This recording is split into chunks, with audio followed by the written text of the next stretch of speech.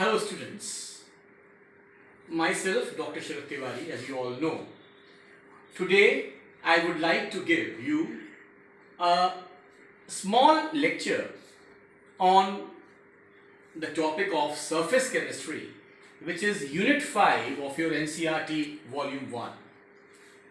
Children, this chapter is very important and forms a major portion of the physical chemistry part. First of all, we should know what is surface chemistry. Children, surface chemistry is the branch of science which deals with the nature of surfaces and the changes occurring on the surfaces. After this, I would like to tell you some very important terms which will be coming to you in this chapter. The first important term is adsorption, adsorbate, adsorbent and then a parallel term known as absorption. After all these terms, there is a new term again which will be coming in this chapter and that is sorption. What is sorption? Children, sometimes the process of absorption and adsorption occur together and they are indistinguishable. Such a process is known as sorption. Now, let us tell, let, let me tell you something about the difference between adsorption and absorption. Children, the basic difference is that adsorption is a surface phenomenon while absorption is a bulk phenomenon. After this, I will tell you what are the factors which are responsible for the adsorption of gases on solids. The first factor is nature of adsorbate. The second is nature of adsorbent. The third is the specific area of the adsorbent, pressure of the gases, temperature and finally activation of adsorbent.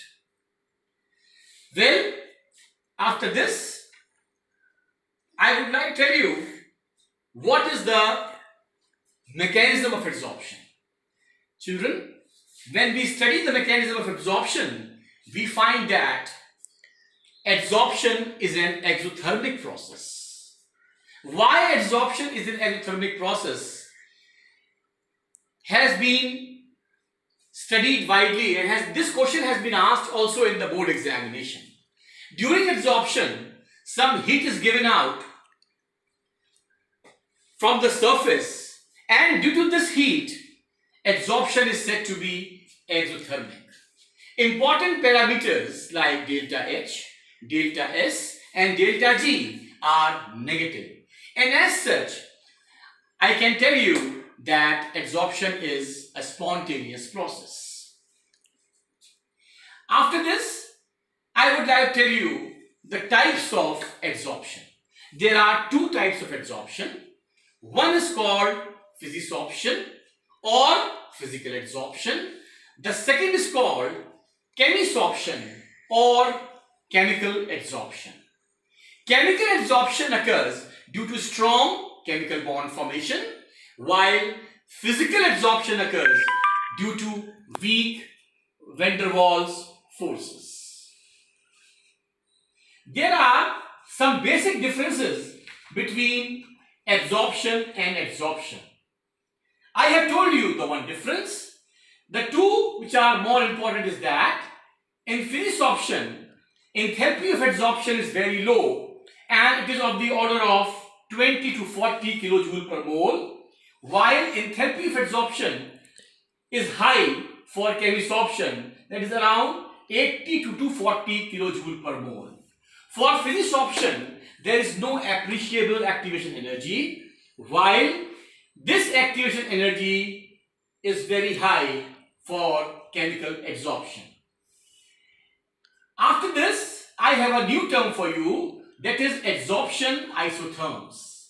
When you plot a curve between x upon n and the pressure, the curves obtained are said to be called as adsorption isotherms. The equation given by Freundlich was x upon m is equal to kp to the power 1 upon n where n is more than 1. If we take log of both sides, we get log x upon m is equal to log k plus 1 upon n log of p.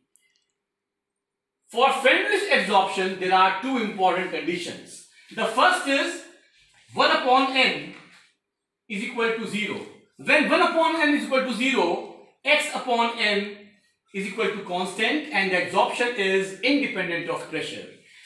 When 1 upon n is equal to 1, x upon m is directly proportional to pressure. Now lastly, I will tell you the basic demerit of Freundlich adsorption isotherm. The Freundlich adsorption isotherm fails at high temperature. Thank you. I will continue in my next video.